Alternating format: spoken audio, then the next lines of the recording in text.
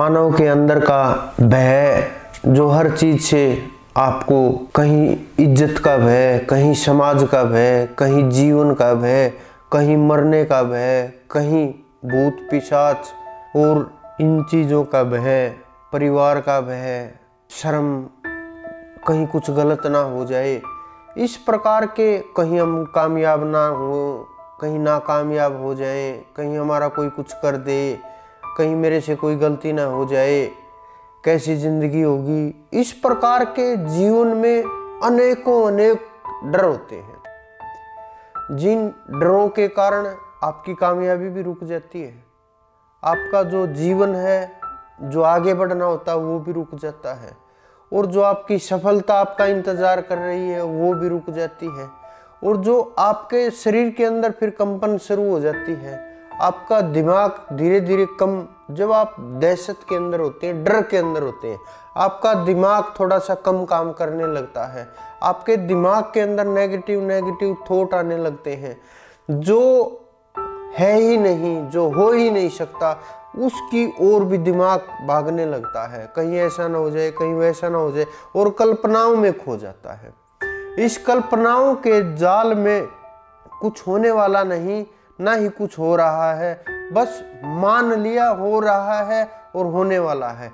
इस भय से अगर आप नहीं निकलोगे, इस भय को आप दूर नहीं करोगे, इससे ऊपर नहीं उठोगे तो ना जीवन में सफल हो पाओगे, ना समाज में सफल हो पाओगे, ना आगे बढ़ पाओगे, ना आपके लिए ये पॉजिटिव सोच लेकर के आएगा सिर्फ़ नेगेटिव ही नेगेटिव थिंकिंग होगी तो इसका उपाय क्या है? सबसे पहले तो अपने आत्मविश्वास को जगाओ।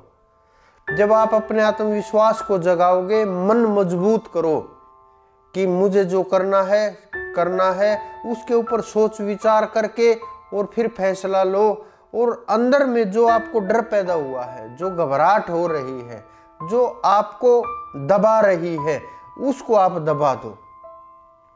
और विचार तालमेल, मन, बुद्धि का इस प्रकार से करो कि संसार के अंदर ऐसी कोई ताकत नहीं है।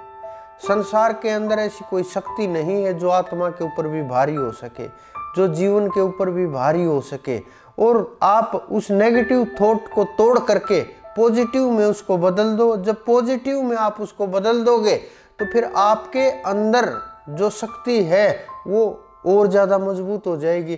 थोड़ा सा आप जिस प्रकार से डर होता है डर में आदमी क्या सोचता है? कभी हनुमान जी को याद करेगा, कभी अपने इष्ट को याद करेगा, कभी देवों को याद करेगा, कभी देवी को याद करेगा। अनेकों अनेकों रूपों में देवी देवताओं को याद करेगा, जिसके ऊपर भरोसा है उसको याद करेगा, मन में उनके प्रति श्रद्धा उत्पन्न करेगा, और जितना भय होता है, उतना ही इंसान उस परमात्मा की ओर बढ़ने की कोशिश करता है। तो ये भी अच्छा है कि आप अगर उसको रूटीन से याद करोगे तो आपके अंदर भय होगा ही नहीं।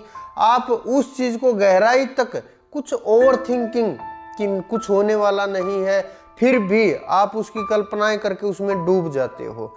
और उन कल्पनाओं में इतना गहरा उतर जाते हो, गह, उतर जाते हो, ये भी भूल जाते हो मैं कहाँ हूँ, कैसा हूँ, कैसे जी रहा हूँ, कैसे होना चाहिए, क्या सोच रहा हूँ, कैसे विचार चल रहे हैं, मैं सुरक्षित हूँ, नहीं हूँ, सब कुछ भूल जाता है। बस ओवर थिंकिंग आगे ये हुआ तो क्या होगा, आगे ये हुआ तो क्या होगा। आगे इस प्रकार से विचार उत्पन्न होते रहते हैं, होते रहते होते रहते और मनुष्य जब होश आता है तो देखता चारों तरफ़, अरे ये क्या हो गया? मैं क्या सोच रहा हूँ? ये क्या चल रहा है मन के विचारों के अंदर? क्या होना चाहिए? और मैं कहाँ भागा जा रहा हूँ? मन के विचार कहाँ जाने चाहिए? कहाँ जा रहे हैं? जो ये आपके अंदर का डर दबा हुआ है ना, इसको निकाल करके फेंक दो। और जब आप इसको निकाल करके फेंक दोगे, आपके अंदर एक नया जोश उत्पन्न होगा, एक नई उम्मीद कायम होगी, और आप अपने इस डर के ऊपर विजय प्राप्त कर लोगे।